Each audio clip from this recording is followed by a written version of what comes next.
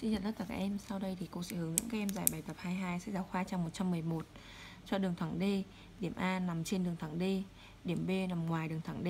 Hãy dựng đường tròn tâm O đi qua điểm B và tiếp xúc với đường thẳng D tại A. Thì ở đây là một bài toán dựng hình đúng không ạ? Thì các bạn nhớ là bài toán dựng hình của chúng ta có 4 bước. Bước thứ nhất đó là bước phân tích. Thế thì với bài này chúng ta phân tích như sau. Bây giờ giả sử chúng ta dựng được một cái hình thỏa mãn như thế này thì các bạn thấy là cái đường tròn O này đi qua điểm A và tiếp xúc với đường thẳng D tại A. Tức là D sẽ là gì của đường tròn O ạ? D là tiếp tuyến, đúng không ạ? D là tiếp tuyến. Là tiếp tuyến. Tiếp tuyến tại A của O. Thì tức là lúc này các bạn có là đoạn OA sẽ phải vuông góc với D. Đúng không ạ? Cái thứ hai là chúng ta có là tiếp tuyến với D tại A, tức là nó có đi qua A mà lại còn đi qua B tức là O đi qua A và B đúng không ạ? Vậy suy ra O của chúng ta sẽ nằm trên cái tâm O này, này nằm trên đường trung trực. Đường trung trực của AB. Vậy từ hai điều này thì chúng ta sẽ suy ra được là cái điểm O này nó chính là bằng giao điểm của D giao với cả điểm O này nhé Nó chính là giao điểm của D, Giao với cả đường trung trực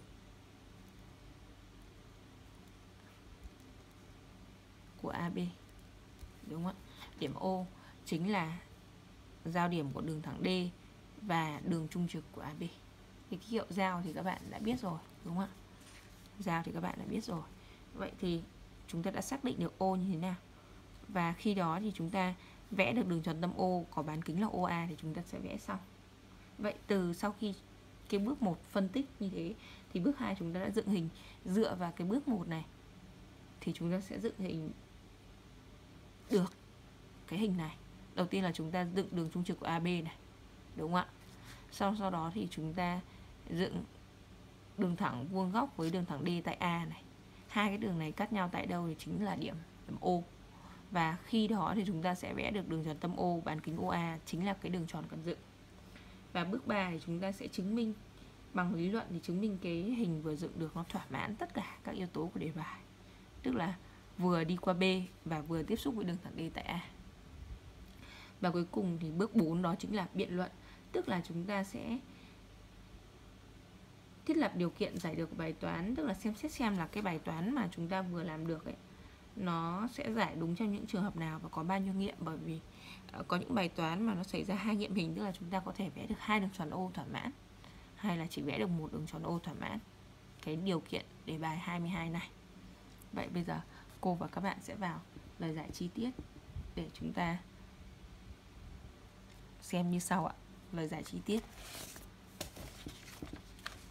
Thì cô đã vẽ cho các bạn lời giải chi tiết thì cô đã vẽ cho các bạn một cái hình mà chúng ta sẽ dựng được ở trong bước 2 Vậy bây giờ chúng ta sẽ giải như sau. Đầu tiên là bước phân tích nhé. Thì chúng ta có này. Giả sử Dựng được Đường tròn tâm O Thỏa mãn đề bài.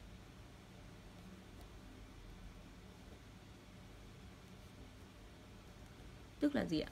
Đường tròn tâm O này, tiếp xúc với đường thẳng D tại A và đi qua điểm B. Đúng không ạ? Vậy thì tâm O thỏa mãn hai điều kiện.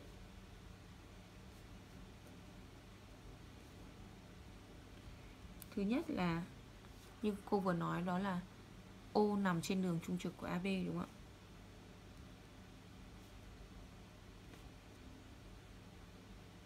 Trên đường trung trực của AB đoạn AB đúng không ạ? Và thứ hai nữa là như cô vừa nói vì sao O lại nằm trên ạ? Bởi vì nó đi qua cả hai điểm A và B, đúng không ạ? Vậy chúng ta bổ sung lý do vào đây. Vì O, đường tròn tâm O đi qua hai điểm A và B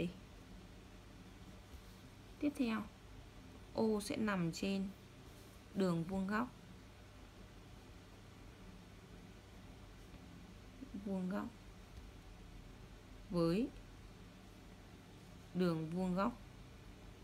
Với D. Tại E đúng không ạ? Lý do là gì ạ? Vì đường tròn tâm O tiếp xúc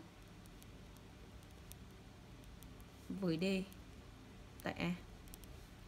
Tiếp xúc với D tại A. Tức là như cô vừa nói là D nó sẽ là tiếp tuyến của A, đúng không ạ? Vậy thì OA nó sẽ phải vuông góc với với D. Vậy, O là giao điểm của hai đường nói trên. Hai đường nói trên. Vậy cái bước phân tích xong từ đây chúng ta sẽ đi vào bước 2 là cách dựng. Cách dựng thì chúng ta dựng rất là dễ thôi. Thứ nhất là để ô nằm trên đường trung trực thì đầu tiên chúng ta sẽ dựng đường trung trực.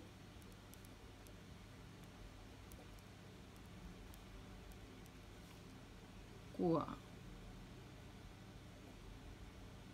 đoạn thẳng AB đúng không ạ cô gọi là đường thẳng M đi ạ Thế bây giờ các bạn còn nhớ về cách dựng đường trung trực của đoạn thẳng không ạ? Thì cô sẽ nhắc lại về cách dựng đường trung trực nhé. Thì chúng ta có những cách đơn giản sau này. Cách thứ nhất là chúng ta dựng bằng thước thẳng. Thì chúng ta đặt thước thẳng, nối đoạn thẳng AB sau đấy chúng ta xác định trung điểm của đoạn thẳng AB đúng không ạ?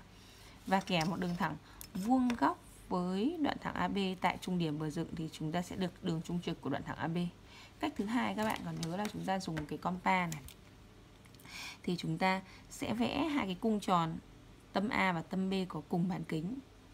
Nhớ là nó luôn phải lớn hơn, cái bán kính đấy nó phải lớn hơn AB chia 2 nhé. Thì vẽ được hai cái cung tròn có cùng bán kính, tâm A và tâm B. Thì hai cung tròn này cắt nhau tại hai điểm, đúng không ạ? Hai điểm. Chúng ta kẻ đường thẳng đi qua hai cái giao điểm đó thì nó chính là đường trúng trung trực. Cái này các bạn đã từng học rồi. Đúng không ạ? Đấy là vẽ được đường trung trực của AB nhé Tiếp theo, Bước thứ hai đó là Từ A Dựng một đường thẳng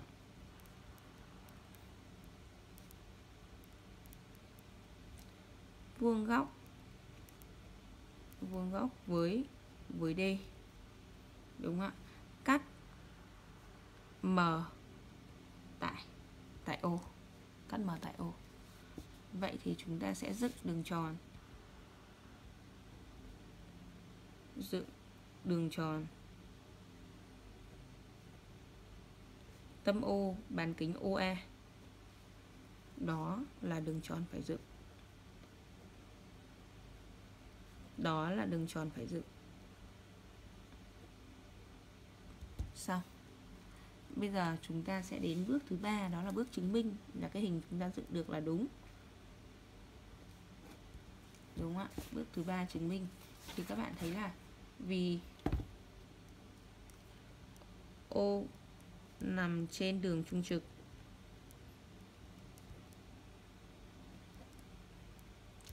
của AB nên OA bằng OB tính chất điểm theo đường trung trực của đoạn thẳng thì cách đều hai đầu bút đoạn thẳng đó, đúng không ạ? Nên đường tròn tâm O bán kính OA nó sẽ đi qua A và B. Thứ hai, vì D vuông góc với OA tại A, đúng ạ? Nên D sẽ là tiếp tuyến hoặc là nói cách khác là sẽ nên D là tiếp tuyến của đường tròn tâm O bán kính OA tại A hay D tiếp xúc với đường tròn tâm O bán kính OA tại A, đúng không ạ? Định nghĩa là gì? Nếu một đường thẳng mà vuông góc với một bán kính đi qua tiếp điểm, chúng ta đã học về dấu hiệu nhận biết rồi, đúng không ạ? Thì suy ra nó là tiếp tuyến, đúng không? Vậy chúng ta đã đảm bảo là cái đường tròn tâm O của chúng ta nó thỏa mãn hai điều kiện một là đi qua A và B, thứ hai là tiếp xúc với đường thẳng D tại tại A Bây giờ chúng ta đến bước cuối cùng là biện luận Vậy rõ ràng là chúng ta luôn xác định được cái tâm ô trong cái đề bài này, đúng không ạ? Nên kết luận là gì ạ? Bài toán luôn có nghiệm mình Tức là chúng ta luôn dựng được cái đường tròn tâm ô thỏa mãn điều kiện. Vậy nó luôn có nghiệm hình. Vậy cô và các bạn đã giải xong bài tập số 22 sách giáo khoa trang 111